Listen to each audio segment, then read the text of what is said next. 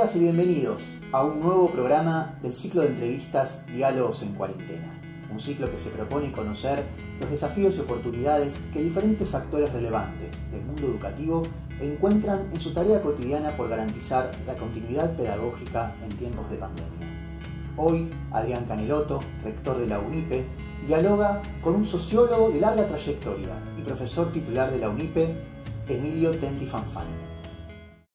Emilio, ¿qué tal? ¿Cómo te va? Buenos días. ¿Cómo andas? Buenos días, Adrián. Un gusto de conversar con vos. Igualmente, che. Emilio, mira, la, idea era conversar eh, en estos reportajes que estamos haciendo. En tu caso, ¿cómo estás viendo vos la relación y los cambios que está imponiendo la pandemia, tanto a nivel social como educativo? Bueno, mira, Adrián, yo tengo algunas impresiones. La verdad que todo el mundo está estamos incurriendo intensivamente en el ensayismo, compartiendo impresiones. Yo partiría más bien específicamente lo que pasa con el sistema escolar, en la educación básica, fundamentalmente, Adrián, que es mi, mi tema de interés. Yo creo que por lo menos hay algunas lecciones que estamos aprendiendo. En primer lugar, que la escuela y los docentes, tanto los docentes como la escuela como institución, son necesarias, son este, insustituibles en cierta medida. Eh, por varias razones. También nos dimos cuenta que la escuela es una institución multifuncional, que no solamente es un lugar donde la gente se instruye, es decir, se apropia de conocimiento racional o conocimiento poderoso, como podríamos decir, conocimientos válidos, útiles para la vida, no solamente para la producción, digamos, económica. Porque la escuela este, no solamente instruye, la escuela también socializa, en la escuela se aprende a vivir juntos, se comparte, se convive, se aprenden estas reglas que nos permiten este, trabajar con otros, estar con otros, convivir con otros. Este, y también es un lugar también donde están los chicos, esto es muy importante, nos hemos dado cuenta que la escuela es un lugar donde se guardan los chicos, están los chicos cuidados, esto es muy importante. Este, ahora, el, tema es que eso no se puede virtualizar, el cuidado del niño no se puede virtualizar, uno puede virtualizar quizás la parte instructiva, Ciertas áreas de la instrucción se puede virtualizar, se puede hacer a distancia, otras no, no creo. Y lo que es toda la, la otra dimensión, que es la cuestión del desarrollo de los sentimientos, de las emociones, de las pasiones humanas, esto sí que creo yo que requiere todavía de la, de la interacción directa, de las relaciones humanas en, en la misma, el mismo tiempo y el mismo lugar. Bueno, y aquí hemos aprendido también que se pueden flexibilizar los tiempos y los espacios de la educación. Así que la forma escuela tradicional se puede organizar de otra manera, se puede introducir otra división del trabajo en la escuela. Este, yo creo que, y también hemos, nos hemos visto obligados a, recurrir a nuevos recursos, recursos que estaban disponibles pero que no utilizábamos, recursos que tienen que ver con la comunicación, porque en gran parte la educación es comunicación. Creo que hemos introducido un poco a las apuradas, hemos improvisado, pero en muchos casos con mucha creatividad este, y en formas muy desiguales, dadas las circunstancias, las condiciones de, acceso a las tecnologías que tienen las instituciones y la familia, pero hemos incorporado masivamente recursos que antes este, no, estaban, no eran utilizados, no eran utilizados, digamos, tan intensivamente como ahora. Bueno, yo creo que estas son cuestiones importantes, que, pero hay algo que a mí me preocupa, Adrián, no sé qué pensás vos. Creo que justamente este tema de los medios, es decir, de, de, los, de los, recursos, eh, tiende como a monopolizar el debate. La discusión es si, si este, tecnología sí, si tecnología no, si la conectividad, si tienen conectividad los chicos no tienen, qué tipo de programa se usa, si el teléfono, si el WhatsApp, si el mail. Este, yo creo que este, todo este debate por, por, por, la forma, si la distancia, que, lo que, la distancia o lo virtual, o como, qué mix, qué tipo de mix se va a dar o de mezcla entre presencial y virtual, y estamos perdiendo de vista la discusión acerca de los fines de la escuela. El debate acerca de los medios tiende a monopolizar la discusión. Esto me preocupa de los fines y sentidos de la escuela, digamos así. Yo creo que podríamos aprovechar, no está, es cuesta meternos en ese tema, justamente ahora donde estamos, este, la emergencia nos obliga a pensar en los medios. Cuando vos Decís, eh, antes eh, hablabas de que se modifican o se podrían llegar a modificar los tiempos de la escuela, ¿no? El modo en que la escuela viene trabajando. ¿Vos ves posible que la, que la experiencia por la que atravesamos efectivamente haga, algún tipo de modificación, eh, suponga algún tipo de modificación en la escuela tal y como la conocemos? Sí, yo creo que eso debería ser, primero, la responsabilidad de las instituciones académicas, de los especialistas en educación, debería ser pensar en forma colectiva y sistemática eh, otras, otras, otras divisiones del trabajo, por ejemplo, que supongan el trabajo colaborativo, es romper como con lo que llama mi amigo sociólogo español Fernández Enguita, el aula huevera, donde están todos los chicos iguales, de la misma edad, con un maestro. Él dice que hay que romper con esto. Obviamente tenemos experiencia en Occidente de escuelas que trabajan de otra manera que trabajan en forma integrada, de proyectos, donde no está el maestro solo en el aula, sino que los maestros trabajan en forma colaborativa, donde se pueden beneficiar de las diversas competencias, de las ventajas relativas que tiene cada uno. Uno tiene capacidades más relacionales, comunicativas, el otro puede tener habilidades más de tipo didáctica. O sea, esto de romper el aula romper el aula de la clase de matemáticas de, no sé, 45 minutos y luego la clase de física, después viene la clase de historia. Esto creo que hay que romperlo. Estos tiempos y espacios escolares, bueno, habría que, habría que pensar, repensarle el formato de la escuela y al mismo tiempo estas son cuestiones sustantivas, pero creo que antes del tema de los formatos tenemos que discutir el tema de los sentidos que tenemos que construir la escuela en función de la construcción de un nuevo humanismo. Yo creo que hay que plantear, hay que plantear el sentido de la escuela hoy en la sociedad contemporánea, y aquí creo que los filósofos como vos tienen mucho que decir, el sentido de la escuela en, en términos de construcción de la ciudadanía, de la, de la, de la disputa este, cultural e ideológica con el transhumanismo. Vos sabés que existe toda la tendencia del transhumanismo como resultado del desarrollo de la nanotecnología, la inteligencia artificial, la robótica.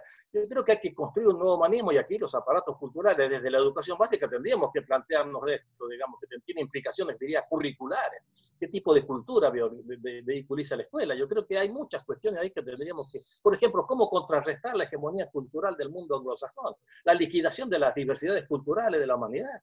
Esto es muy importante, preservar las diversidades culturales, nacionales, las historias, todas estas cosas. La construcción de un nuevo universalismo. Necesitamos construir un universalismo que no sea la imposición de la cultura dominante, sino que de ese nuevo humanismo que hay que construir, todas las culturas tienen algo que aportar. Y creo que también es un gran tema que tenemos que discutir los que pensamos la, la nueva escuela, digamos, la escuela, la escuela para, para, este siglo. Son grandes temas que atraviesan lo que es el, el, programa curricular, que va mucho más allá de la disciplina. No es una materia ahora que hay que poner transhumanismo, eh, universalismo. Son, son grandes principios estructuradores del sentido de la escuela, digamos así. Como eso hay otras. Cómo hacer que el, inculcar un cierto conocimiento racional que nos permita combatir la proliferación de viejas y nuevas formas de racionalismo desde los fundamentalismos religiosos, el terraplanismo, los movimientos antivacunas. Yo, eso me preocupa a mí. La escuela tiene que decir algo. Estas son las cosas que tendríamos que estar discutiendo. Y luego de haber definido cuál es el rol de la escuela, ahí sí discutamos los formatos, los tiempos, los espacios, el mix de tecnología. Y yo creo que primero partir de estos grandes temas. ¿Cómo hacemos para, a través del currículum, por ejemplo, historizar el desarrollo de la ciencia y la tecnología? Porque muchas veces los descubrimientos, los principios científicos de la química y la física aparecen ahí, se enseñan como algo que no se sabe cuándo aparecieron, dónde aparecieron. Son espontáneos, sí, sí. No, no, no, no hay una historia, son como espontáneos, ¿no? Da, la impresión. no están inscritos en una historia, en una cultura. Exactamente. Y además mostrar que hay determinantes políticos y ético-morales. ¿Por qué ciertos descubrimientos, ciertos desarrollos se dan en cierta parte, en cierto momento de la historia, no en otro? Cómo el desarrollo de la ciencia y la tecnología no es algo autónomo, sino que hay fuertes determinantes, por ejemplo, hoy en día, económicas. El capital determina el tipo de conocimiento. ¿Por qué se da el predominio de la tecnología sobre el de la ciencia? ¿Por qué el criterio de utilidad? ¿Por qué se impone la técnica, la tecnología sobre el conocimiento? El conocimiento es, este, es más de tipo denotativo. Un conocimiento se valora según el criterio de verdad. ¿Es, buen, ¿Es verdadero o es falso? En cambio, la técnica no se juzga por el criterio de verdad, se juzga por el criterio de utilidad. Esto hay que discutirlo en las escuelas. Son los grandes temas de la, digamos, culturales de la, que, está viviendo la humanidad en estos momentos. Por ejemplo, el tema, el COVID nos ha enseñado también de que no existen los individuos libres, la sociedad de los individuos.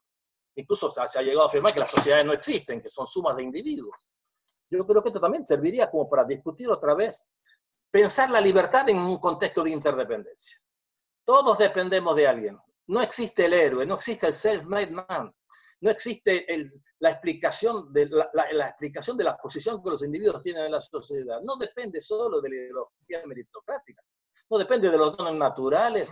Yo lo que lo, lo construí yo solo. Mentira, nadie, todos dependientes. Lo que uno es dependió de los padres, de la maestra, del almacenero que te vende la carne. Nadie es autónomo, no existe el individuo autónomo, somos todos interdependientes. Pensar estos grandes temas, yo creo que sería como para formar una generación con otra, con otra composición, digamos, con otro sentido común. Hay que romper ciertos sentidos comunes. El individualismo está muy arraigado y la meritocracia está muy arraigada. Otro gran tema importante, cómo entender los acontecimientos del mundo social sin incorporar el pasado, sin, volver a recuperar el tiempo tripartito, un tiempo que históricamente estuvo conformado de pasado, presente y futuro. La tendencia contemporánea, la cultura contemporánea, tiende a achatar el mundo en el presente. Todos los noticieros de la televisión te dan la última, última, última noticia. Lo que pasó ayer pareciera ser que no tiene nada que ver con lo que pasa hoy o con lo que va a pasar mañana. ¿Cómo entender un golpe de Estado, este, una crisis económica uno no reconstruye el proceso histórico que llevó esta situación en el Esta es preocupante, esta idea de que no hay futuro, todo se juega en el presente. El futuro aparece ahora como una amenaza, ya no es la salvación, no es el progreso el futuro. El futuro es como desempleo. En esta crisis peor todavía. No sabemos qué futuro nos espera. Un futuro donde no va a haber empleo para todos. El holocausto nuclear, eh, la inseguridad. El futuro es una amenaza ahora, no es una esperanza. No hay, no hay lugar para la esperanza. Y si no hay futuro, no hay estímulos para el esfuerzo. Esto tiene efectos gravísimos en los sectores, en las clases jóvenes, las nuevas generaciones, especialmente en los sectores populares, que están obligadas por necesidades materiales a vivir al día. Entonces no pueden pensar mañana. ¿no? Por eso dicen que los jóvenes de hoy no tienen intereses, no tienen pasiones, no tienen disposición al esfuerzo, no quieren trabajar, no tienen interés en aprender, porque no tienen proyecto. ¿Y cómo va a tener el proyecto de mucha gente hoy en día, adultos y jóvenes? Es cómo parar la olla esta noche cómo sobrevivo esta noche o cómo me divierto el fin de semana, reviento la noche, no sé, no, no voy a, a, no, no, no, tengo una disposición a contener mis pasiones, este, a satisfacción de ciertas necesidades en pos de una satisfacción mayor en un futuro, porque si ese futuro no existe o está, está total, es totalmente incierto, eso desestimula el esfuerzo por estudiar porque eso que le decían nuestros padres nos decían, estudia, o los docentes, ¿no? estudia esto, que te va a servir para el día de mañana. Yo no tengo cara para decirle hoy qué día de mañana le espera a cierta gente. Por eso hay una demanda de satisfacción en el presente, en lo inmediato. Hay un presentismo que achata al tiempo histórico, que liquida el, el pasado cuando no le interesa a nadie. Había una salsa en Colombia que decía, ¿para qué leer un periódico de ayer? No hay nada más inútil que el periódico de ayer en el sentido que no sirve para nada, ni siquiera tiene un valor histórico, este, no tiene un valor este, ni para el buceo. Entonces, esto es preocupante, estos temas es lo que tendrían que ser discutidos, por, especialmente por la gente que estamos en el campo de la ciencia y la educación. Bueno, frente a este panorama cultural, ¿cuál es el papel de la cultura escolar? Este, yo creo que esto, esto define un poco las cuestiones que te decía acerca de los fines y el sentido. Sí, yo coincido, me, parece que es estimulante pensar eh, que en el borde de, una, de lo que produce una, una, pandemia, donde se plantea la reformulación también del sentido eh, de la sociedad, del trabajo, del propio sistema, es necesario pensar el sentido de la escuela y no como hacemos habitualmente, que pensamos primero la, la tecnología para cambiarla y después pensamos el sentido, cosa que siempre termina siendo problemático eso. Eh, me parece que es, eh, digo, que es estimulante eso. Y aún así creo que habrá que zanjar primero la emergencia, ¿no? Porque hoy, cuando vos hablas con los docentes, lo primero que se les viene a la cabeza es cómo resolvemos la situación más eh, acuciante, que es cuando los pibes vengan a la escuela y tengamos que lidiar con ellos en los próximos cinco meses, seis meses, cuatro meses que nos quedan, dependiendo de los calendarios, ¿no? Sí, es cierto. Ahí hay algo de urgencia que te tapa, digamos. Claro, la urgencia te impide pensar en el futuro, pero digo, se están haciendo cosas. La urgencia, las cosas, las urgencias, los docentes han desarrollado, han desplegado una gran creatividad, ¿no? Te digo, es muy diversa esta creatividad, obviamente. Algunos con algunos estaban mejor equipados, digamos así, para hacer frente a la emergencia. Por ejemplo, los que dominaban la tecnología y que tenían los recursos tecnológicos, seguramente han dado respuestas mucho más ricas, más creativas, y algunos otros, bueno, como decían, algunos se filmaban las clases, se filmaban este, con un pizarrón o con un papelógrafo dando clases. Y otros quizás no hicieron ni eso. Bueno, además tenemos todos los graves problemas por el lado de la familia, de la capacidad de la familia. Esto ha sido muy estudiado. yo creo que las, las situaciones de catástrofe como esta tienden a acentuar los problemas que existían ya estructuralmente en una sociedad. Siempre los que eran perdedores antes, ahora son los que más pierden. Esto eh, sucede con las inundaciones, sucede en los terremotos, sucede en la guerra y sucede con las pandemias. Digamos. Esto es así. Esto ya lo hemos dicho, recontradicho, y vamos a ver las consecuencias, las estamos viendo ahora y las vamos a ver en el futuro próximo. Así que obviamente habrá que ir pensando la emergencia, pensando el presente, pero al mismo tiempo también pensando, rediseñando el futuro. Yo creo que hay que ¿por qué está también esta, estas situaciones de emergencia? Te ponen entre paréntesis las rutinas. Y muchas rutinas escolares estaban, eran obsoletas, simplemente había una inercia, pues sabéis cómo son todas. En la vida social, la, digo siempre, yo digo que las, las, sociedades no son de plastilina, no, no se puede modificar a voluntad. Eso es voluntarismo, digamos. Hay una inercia de la sociedad, pero esta inercia a veces se interrumpen por estas situaciones de catástrofe. Bueno, aprovechemos entonces también para repensar, quizás hay más condiciones objetivas, materiales para repensar la escuela. Aunque la, escuela que, aunque la escuela que está cerrada como materialidad, todavía está en las cabezas y en las mentalidades tanto de los docentes, de los directivos, de los padres y de los alumnos. La escuela también está en el corazón de los hombres, como diría Borges. Uno puede quemar las cosas. Por eso mi amigo Fernando Enguita dijo en un momento, bueno, la escuela desapareció, dice, se esfumó, fue sustraída, o sea, la, la COVID la hizo desaparecer la hizo desaparecer entre paréntesis, limitadamente como materialidad, pero todavía la escuela está en las mentalidades, están las expectativas, están las valoraciones, y esas no se esfuman tan rápido.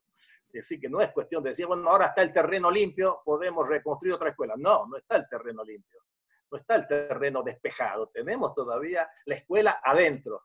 Entonces, este, por eso yo pienso que hay que ver hasta cuándo dura esto, va a ver la profundidad, porque si esto, esto dura, obviamente que va a tener consecuencias muy, muy, muy fuertes, mucho más fuertes que las, que las que estamos viendo ahora. Si dentro de un mes se reinician las clases, o en septiembre hay clases, yo creo que, bueno, las cosas van a volver a su lugar. La inercia va a hacer que todo se vuelva a reconstruir con algunas modificaciones, quizás con la incorporación de tecnologías, un nuevo mix, Depende, si van a ir todos los chicos a la escuela, van a tener que ir tres días, dos días uno y dos días otro y un día sin clase.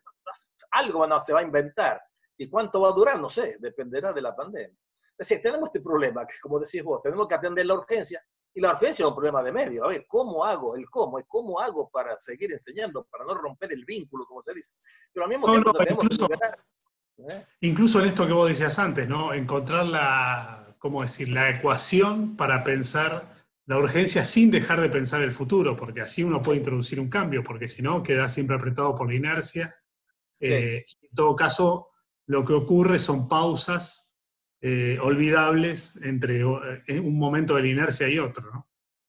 Sí, por eso yo creo que las instituciones académicas, los ministerios de educación, tendrían que por lo menos preservar parte del tiempo y de los recursos que disponen para pensar el futuro articular el pensamiento, el, plan, el planeamiento del futuro con la urgencia, pero digamos, que la urgencia no se trague todo el tiempo, que no se trague todos los recursos, que no se trague toda la inteligencia, ¿me entiendes? Esa es mi preocupación. Perfecto, bueno, gracias Emilio por este rato. Eh, eh, siempre es un placer hablar y charlar. Nos debemos un poco más de tiempo en algún momento cuando nos veamos cara a cara un gusto, es un gusto conversar con vos porque me obligás a pensar. Y pensar juntos siempre es mucho mejor que pensar solo. Así que te agradezco. sí, sí. Al, al, contrario, gracias a vos. Eh, un abrazo grande. Cuídate. Un gusto, un abrazote. Chao.